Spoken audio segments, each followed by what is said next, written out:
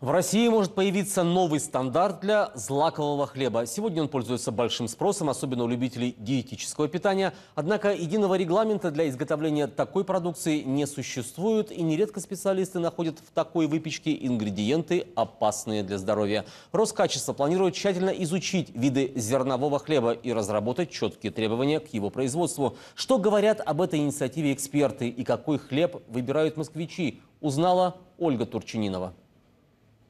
Приглядеться, пощупать, максимум понюхать. Редкий покупатель задержится у прилавка, чтобы взглянуть на этикетку. Наличие или отсутствие четырех букв ГОСТ, более или менее гарантирующих качество, здесь мало кого волнует. У нас много чего пишут, как говорится, на заборах особенно.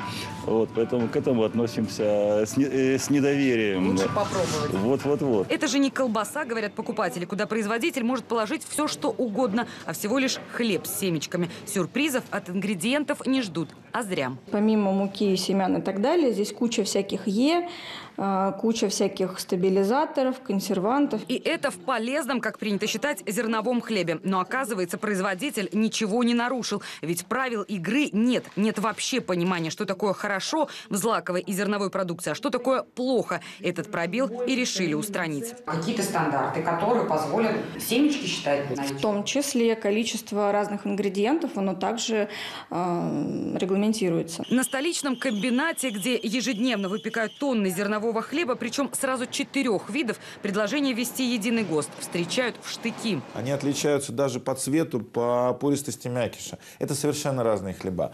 Попытаться привести их в один стандарт, это означает, к одному стандарту означает, один будет в стандарте, два не будет. Отличаться – главная задача для этой небольшой московской пекарни. Нет промышленных размахов, ручной замес. Хлеб из цельнозерной муки ставку делают не на количество, а на эксклюзивность. И ее потери для предпринимателя равносильно банкротству. Это такой процесс творческий, который вызывает и у ресторана желание работать с пекарней, и у гостей приходить в ресторан пробовать этот вкусный хлеб.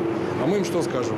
Один вид зернового, по стандарту, все. В Роскачестве обещают выслушать всех, разрабатывать ГОСТы. Будут совместно с технологами, врачами конечно, производителями. А пока правил нет, самый безопасный хлеб – домашний. У москвички Татьяны Галушкиной свой рецепт зернового. Тесто на ключевой воде, обычная мука, отруби и семечки. Ольга Турчининова, Юлия Парфенюк и Анна Балан. Вести.